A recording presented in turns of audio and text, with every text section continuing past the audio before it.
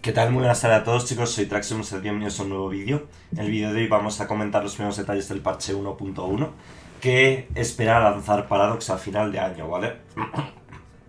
Entonces, eh, la idea es que van a lanzar el primer parche 1.1 eh, que se va a centrar en correcciones de bugs, mejoras de interfaz, como cosas más urgentes, por así decirlo.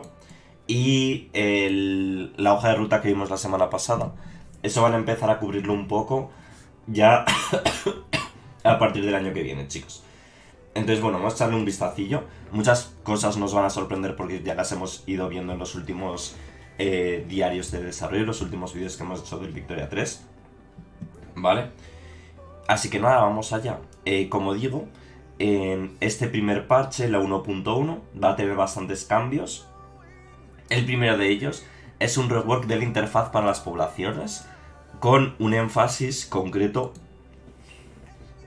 en mejorar la visualización de necesidades de la población y para esto vamos a tener separadas distintas eh, ventanas, una para la economía y otra para el consumo, con la economía mostrando un detalle mayor de los ingresos de la población y sus gastos. Esto está genial chicos, lo he hablado en varios eh, diarios de... Lo he hablado en bastantes vídeos, en directo dando mi opinión, etcétera, de cómo eh, estaba muy oculto la posibilidad de ver las necesidades de tu población, así que me alegro que haya mejoras en ese aspecto, ¿vale? Y la ventana de consumo nos mostrará los gastos principales de la población, así como la información del mercado, ¿no?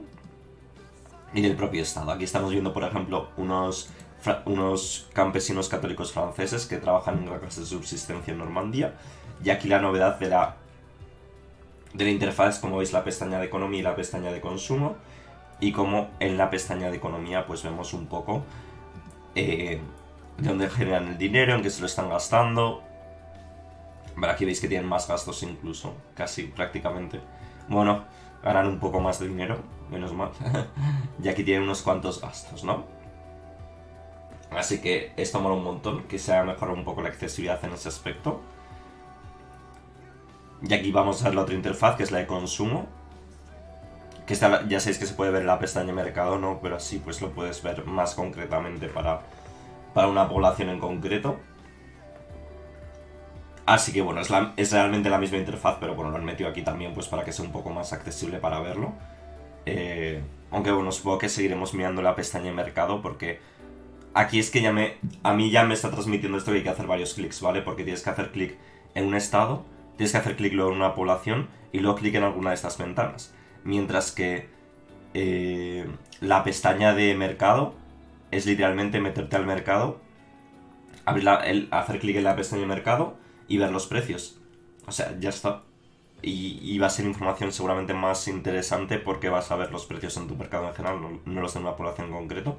Aunque supongo que si quieres verlos de una población en concreto, pues esto está mejor que lo que teníamos antes, ¿no? Que te tenías que meter a la pestaña de población, pasar el ratón por encima de, la población que te interesaba, eh, ver el precio eh, extra respecto al mercado mundial. Pasas el ratón por encima, esperas a que saliera ya la cesta de la compra y aquí pues lo vas a poder ver mejor aunque como digo, supongo que vamos a seguir utilizando la pestaña de, mercado para estas cosas, ¿no? Vale, la legitimidad, esto ya lo vimos, ¿vale? Seguramente los que hayáis visto todos los vídeos últimos de Victoria 3, etcétera, eh, ya sabréis un poquito en qué funciona esto. Dicen que no había mucha agencia con la legitimidad. Bueno, sí, sí que había agencia con la legitimidad, pero no era como muy útil. vale, y ahora vamos a tener grados de legitimidad de 0 a 24 va a ser un gobierno ilegítimo, va a ser considerado ilegítimo por la mayor parte de la población y este nivel de legitimidad reduce eh, la aprobación de todos los grupos de interés en la oposición, haciendo imposible que puedas pasar leyes y generando radicales incrementados, ¿no? Como he dicho, en varias ocasiones creo que tendrías que tener la posibilidad de seguir pudiendo activar leyes aunque seas un gobierno legítimo. Ilegítimo, al fin y al cabo tienes el... ¿Cómo decirlo? Tienes el tienes el poder ejecutivo en tu haber, ¿no? O sea, tienes que seguir pudiendo aprobar leyes, aunque no seas un gobierno legítimo, sigues siendo el, poder principal que puede pasar leyes en el gobierno. Pero bueno, esto me parece un poco random, la verdad. Pero bueno. De 25 a 49 es un gobierno no aceptado. eh, se pueden aprobar leyes, pero los grupos de interés van a desaprobarlos y van a crearse radicales. El de 50 74 es un gobierno disputado. Esto se considera que tiene algunas fundaciones flojas. Y los grupos de interés de la oposición no están de acuerdo, pero no va a haber ni efectos buenos ni malos. De 75 89 somos un gobierno legítimo. Eh, se van a ir generando lealistas poco a poco. Y un gobierno por derecho de 90 a 100. Este gobierno eh, tiene todo el respeto del pueblo y generan lealistas con el paso del tiempo. Y el tiempo de, de aprobación de leyes es la mitad. Esto está muy bien. Esto está muy, muy bien. Lo único que, claro. Lo único que, claro, pues eh, tendrás que seguir teniendo un buen porcentaje para que se aprueben, ¿no? También se ha alterado cómo ganas la legitimidad en las democracias eh, respecto al total de los votos. Estos van a tener un efecto total eh, directo en nuestra legitimidad. El grado del cual va a ir en función de las leyes en sistemas de voto más, restringidos la influencia será más importante que el número de votos, pero conforme la población se vaya eh, consiguiendo acceso al voto y bajo el sufragio universal debería ser imposible que un gobierno que no tenga eh, votos detrás sea ilegítimo. Es decir, que el, el, gobierno que emerge, que emana de una, de una votación en una democracia siempre debería ser legítimo porque es lo que ha votado el pueblo, ¿no? Y eso es lo, más legítimo posible. Y aquí vemos estas nuevas pestañas, que ya vimos alguna imagen hace tiempo, pero bueno, en este caso es un gobierno no aceptado, está en 49. Habría que darle un poquito de amor.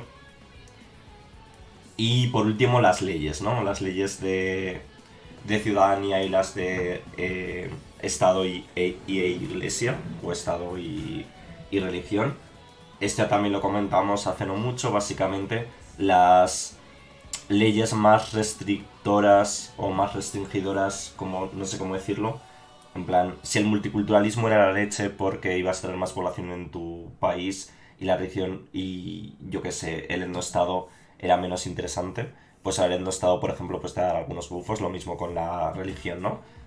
La separación total va a seguir siendo probablemente el meta, pero la religión estatal y la libertad de conciencia van a ser un poquito mejores. Y lo mismo con las leyes de ciudadanía, ¿no? Eso es todo por esta semana. La semana que viene empezaremos a hablar más. Bueno, seguiremos hablando del parche 1.1.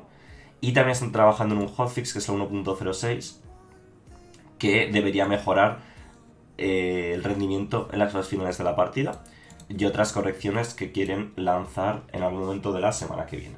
Así que bueno, Poca sorpresa en el diario desarrollo de hoy, sinceramente. Creo que la única novedad es esto. Y también os digo que no sé qué, uso le vamos a dar realmente, como una persona que le metió bastante caña al juego. Es una mejora respecto a lo que teníamos y, y algo en lo que realmente vamos a querer poner nuestros ojos de vez en cuando.